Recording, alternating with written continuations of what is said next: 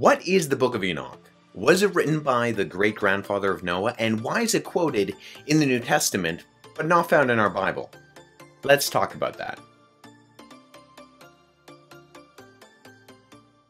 You know, the longest and only unambiguous quotation in the biblical epistle of Jude is not from the Old Testament, but rather from the non biblical book of 1st Enoch. What is 1st Enoch? Should it be in our Bibles, and why would Jude quote it?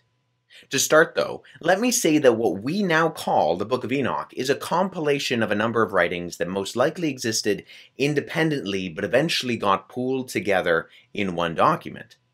Although it's much more ancient, the only existing full copy we have of 1st Enoch is a 15th century manuscript written in a version of Ethiopic. Fragments of different sections in Coptic, Greek, Latin, and Aramaic all exist, although only contain portions of the whole document.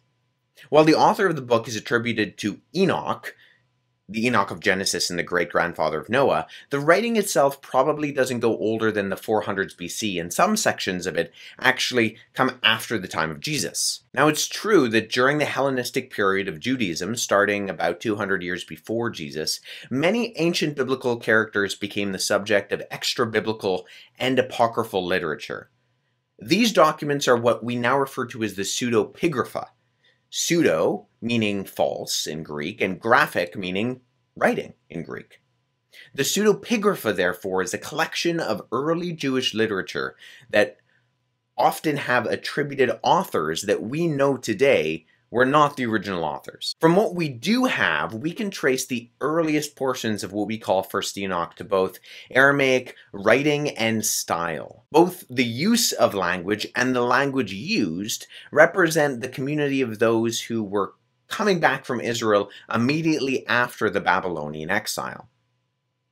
It also contains themes from this time and advocates a solar calendar in opposition to the lunar calendar, which is what happened during the time due to the influence of Greek mathematics on timekeeping.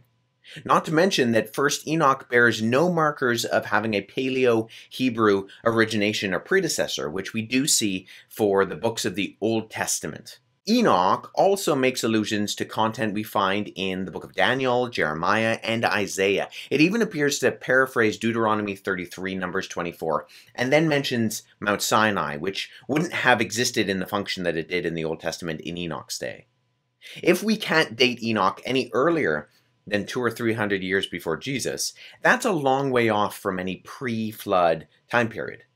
What the Book of Enoch represents is a collection of literature about Enoch, the time period following up to the biblical flood, and particularly end time theories that are all pieced together and put together by different authors. But where Enoch is useful is the picture it gives us concerning what Jews believed about supernatural beings, what we would describe as angels and demons, in the time leading up to Jesus, and it also gives, gives us interesting snippets into the streams of interpretation concerning how Jews were thinking about concepts like the Messiah prior to the New Testament itself. It may not be as ancient as the pre flood era, but that doesn't mean that its contents don't give us insights into the theological conversations happening during an important time of history and for those reading the Old Testament and particularly the Genesis narrative. So, why does Jude quote it? Well, I think one thing is clear. Jews at the time read sections of what we now refer to as Enoch, but never considered it scripture. Nonetheless, the book doesn't have to be inspired to be useful. Enoch appears to be both common enough for Jude to quote it in his epistle, assuming his audience knew what he was talking about, and that the stories within contain kernels of truth that Jude is willing to draw from. If he were alive today, he might quote from a news source like the New York Times, or a well known piece of literature like something that C.S. Lewis or Shakespeare wrote. If he did do that in that type of hypothetical situation, it wouldn't mean that those sources would be inspired scripture, but instead a relevant, well recognized source to draw from or reference. So, should Enoch be in our Bibles? I think the answer to that question is pretty clearly no.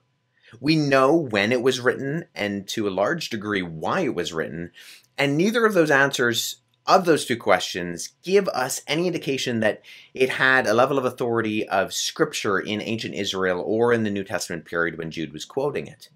However, if you want to learn more about what Scripture is and why we can have confidence that what we do have in our Bibles are the right books, then click that subscribe button and check out the rest of the videos and content on my channel.